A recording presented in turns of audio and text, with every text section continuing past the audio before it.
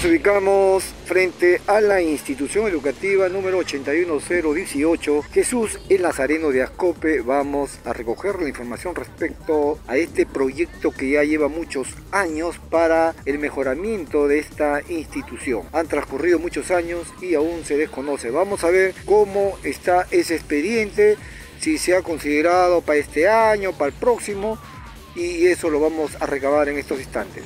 Estamos en Ascope Distrito, precisamente en la institución educativa Jesús el Nazareno, con la directora Lilex. Lilex Cosavalente Flores.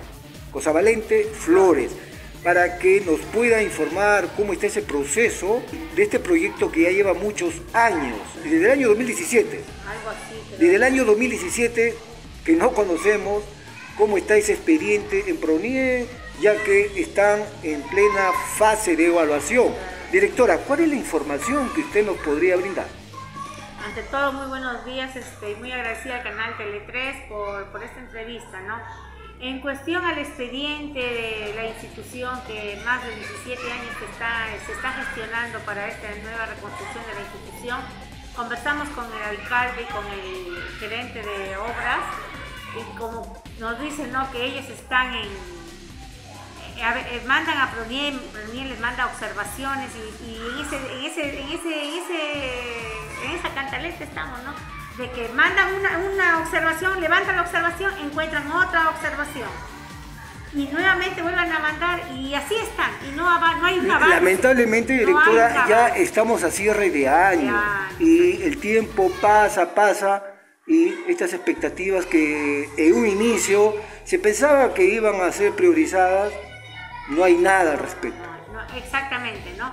Hay observaciones y hay que levantar esas observaciones también y, dilatan el tiempo y en verdad no se ve ningún avance sobre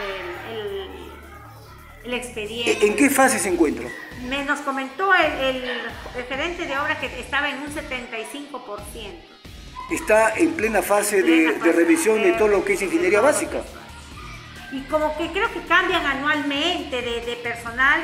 Todos los años, al comienzo de año, llama un ingeniero, un arquitecto a decir, a preguntarnos, a pedirnos los papeles, las nóminas de los alumnos, cómo está, detalles. O sea, todos los años es lo mismo, gastar en nóminas, actas, para que ellos puedan ver la cantidad de alumnos que hay en la institución.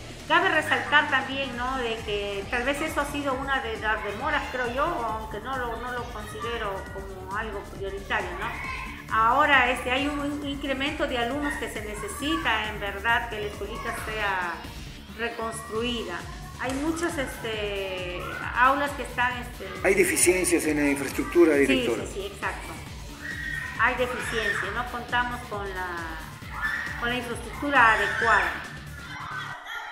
Bien, usted tiene un informe de PRONIE para que nosotros podamos ya eh, ver el avance, nos ha manifestado. El informe así no nos da, porque yo lo solicité. Y la municipalidad tampoco le ha dado el informe.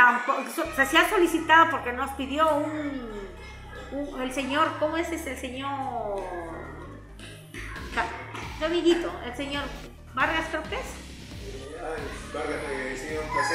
El señor. El Plasencia nos solicitó y solicité, pero no, no, no. ¿Usted ha solicitado el informe, cómo está ese expediente, pero hasta la fecha no, no, no se le ha alcanzado? No, no, el, señor ya lo tenía el informe, ¿no? Pero como le repito, justamente ahora también vamos a reunirnos y, a las 2 de la tarde estoy citada y quiero ver, a ver, preguntar en qué avances está la, la situación de la escuelita, pues cómo va. Estamos constatando en una de las aulas la infraestructura deplorable en la que se encuentra la institución educativa Jesús el Nazareno, señores. Esto es preocupante, cualquier cosa podría pasar, como estamos registrando en imágenes, rajaduras en la mayoría pues de las aulas, como estamos registrando en imágenes. Vemos las rajaduras en los ambientes como venimos registrando en imágenes, rajaduras prolongadas.